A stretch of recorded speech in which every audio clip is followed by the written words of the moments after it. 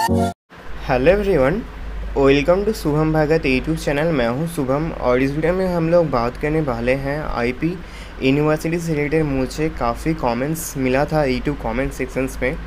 Counselling से related, उसके बाद according your rank best college क्या कुछ होंगे, उसका चॉइस फिलिंग उसका काउंसलिंग से रिलेटेड मुझे कुछ क्वेश्चन आया था। उसका कैटेगरी वाइज रैंक होता है या नहीं उसका एडमिशन प्रोसेस क्या कुछ है? तो मैं सबसे पहले आपको काउंसलिंग प्रोसेस के बारे में बताऊँगा। उससे पहले मैं एडमिशन प्रोसेस के बारे में बता देता हूँ। मुझे काफ़ी सारा कमेंट्स मिला था B Ed paramedical M B A B B A और भी कई सारे सब्जेक्ट हैं जिसका जो है एडमिशन प्रोसेस क्या है पूरा, ठीक है? तो हर एक सब्जेक्ट के रिलेटेड आई पी यू में सेम प्रोसीड्योर है। इसी प्रोसीजर से जो आई में एडमिशन होता है, मैं बताऊँगा। तो सबसे पहले देखिए, काफ़ी सारा स्टेप होता है, उसमें तो पहला स्टेप है, आपने एप्लीकेशन किया था पहला स्टेप में। उसके बाद आपने एग्ज़ाम दिया। तीसरे में आपका एग्ज़ाम का रिज़ल्ट आया। आपने, आप अभी फोर्थ स्टेप में हैं। आपका, आपने रजिस्टर किया। रजिस्टर करने के बाद आपको चॉइस फिलिंग करना होता है। चॉइस फिलिंग करने के बाद आपको सीट अलॉटमेंट होता है।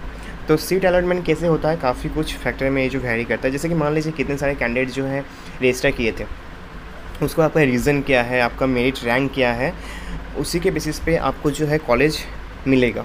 ठीक है, इसी के बेसिस पे आपको कॉलेज मिलेगा, यही है इसका एडमिशन प्रोसीड्यूर उसके बाद आपको मान लिया मान लिया मैंने फ़र्स्ट जो आपने प्रिफरेंस डाला था चॉइस फिलिंग में first second third fourth fifth six या किसी भी प्रिफरेंस में आपको किसी भी कॉलेज में मिल गया आपको, ठीक है तो आपको फोर्टीन थाउज़ेंड जो है इनका फ़ी वो फ़ी हर साइड के लिए, आप किसी भी साइड में हो तो फोर्टीन थाउज़ेंड आपको फ़ी पे पहले जो है पेमेंट करना होगा। उसके बाद अगर कुछ एक्स्ट्रा फ़ीस होता है अलग अलग यूनिवर्सिटीज़ मतलब अलग अलग जो भी कॉलेज है, उसमें वो डिडक्ट हो जाएगा। ठीक है। तो यही है सबका, आप चाहे किसी भी कोर्स में आप अगर हैं तो इसी स्टेप के थ्रू आपका जो एडमिशन होगा। हालाँकि मैं इसमें एक अलग से वीडियो डाला था तो सभी का एक है, क्योंकि मुझे बीएससी के रिलेटेड काफ़ी सारा कमेंट्स मिला था, मैं उसमें भी डाल दिया था और हर सब्जेक्ट के रिलेटेड मिला था, लेकिन मैं सबका डालूँ तो सेम ही प्रोसेस है, मैं इसलिए नहीं बताया तो मैं सबको लेके एक ही साथ बना दिया। और दूसरा जो एक बहुत ही ज़्यादा क्वेश्चन पूछा गया था, मैंने अकॉर्डिंग और सब्जेक्ट का, चाहे एमबीए का हुआ, या कई कई सारे जो सब्जेक्ट थे जो काउंसलिंग स्टार्ट नहीं हुआ है तो काउंसलिंग स्टार्ट अगर हुआ है नहीं, आप खुद से चेकआउट कर सकते हैं, लेकिन आपको इसके लिए क्या करना पड़ेगा, आपको वेबसाइट डेली जो है दो से या तीन तो दो से तीन बार आपको ऑफिशियल वेबसाइट में आपको विज़िट करना होगा। या मैं हर रोज़ अगर शाम को मैं अगर वीडियो डाल दूँगा एक अपडेट के थ्रू तो उसमें भी आपको पता चल जाएगा। लेकिन आप खुद से जो है, आप अपना कॉलेज विज़िट कीजिएगा। अब हम लोग आ जाते हैं मीन्स आप वेबसाइट विज़िट कीजिएगा, ठीक है? अब हम लोग आ जाते हैं कि आप according your marks best college क्या होंगे। देखिए, आपको कोई नहीं बता सकता अकॉर्डिंग योर मार्क्स कौन सा बेस्ट कॉलेज होंगे, ठीक है? मतलब प्रॉपर इन्फॉर्मेशन ऑथेंटिक इन्फॉर्मेशन आपको कोई नहीं दे सकता। लेकिन आपको हर एक कोई आपको गाइड कर सकता है। तो सबसे पहला है, आप सब कुछ मिल सकता है आपका गूगल में। आप गूगल में सर्च कीजिएगा तो according your subject according your marks according your rank आपको सब कुछ मिल जाएगा गूगल में। गूगल में मिल जाएगा, आप अगर मार्क्स को डालते हैं, अपना रैंक को डालते हैं तो दिखाया जाएगा जी ए जो ए जो कॉलेज है, इसका, इस इस कॉलेज में आप एडमिशन ले सकते हैं। इसके अलावा आप अगर आपके घर पे कोई आई में पढ़ा है, या उसके पास नॉलेज है इस फ़ील्ड का तो आप उनसे भी पूछ सकते हैं।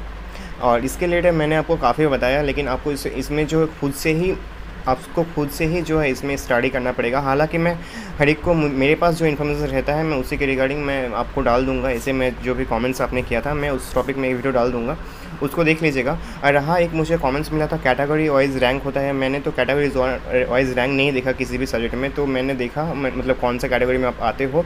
उसके बाद आपका अलग से मीन्स आपका मेरिट लिस्ट आया था। और ऐसा होता है कई सारे इंडियन सिटीज़ में आपका कैटेगरी वाइज एक रैंक होता है, उसके बाद और एक रैंक होता है, ठीक है? तो इसमें मैंने अभी तक कुछ नहीं देखा। और बाकी रहा कॉलेज रिव्यूज़ कॉलेज रिव्यूज़ के रिलेटेड अगर वीडियो चाहिए तो मुझे बताइएगा। हालाँकि कई सारे वीडियोज़ हैं यूट्यूब उसमें आपको मिल जाएँगे कॉलेज रिव्यूज़ के थ्रू आप उसमें भी आप चेकआउट कर सकते हैं, ठीक है? तो मैंने, उम्मीद करता हूँ मैंने सारा जो क्वेश्चन था आप लोगों का आंसर दे दिया और कुछ कुछ जो क्वेश्चन है मैं कॉमेंट सेक्शन में जाकर आंसर दे दूँगा। तो मैंने बता दिया, आप खुद से कर सकते हैं, आपको किसी पे डिपेंड नहीं होना है, आप खुद से सब कुछ कर सकते हैं, ठीक है? तो उम्मीद करता हूँ वीडियो अच्छा लगा होगा। अगर जिस, किसी भी टॉपिक में आपको वीडियो चाहिए तो मुझे कमेंट सेक्शन में लिख सकते हैं। Thank you so much for watching have a great day